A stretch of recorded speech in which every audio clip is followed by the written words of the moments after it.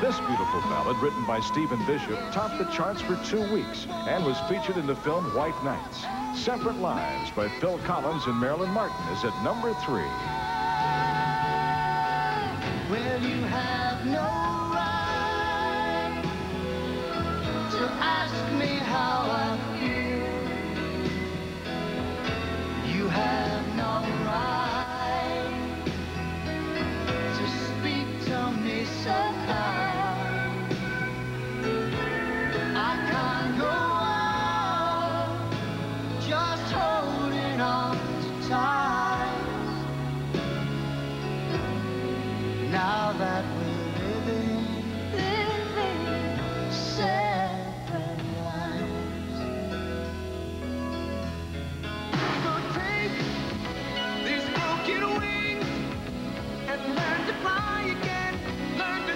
Our number two hit reached the top of the charts and was nominated for a Grammy.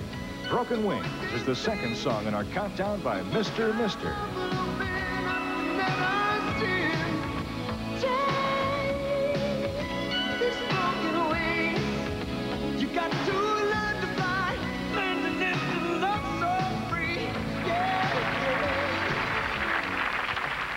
coming here for the Grammys. I mean, I always think that's for somebody else, you know. I mean, number one single.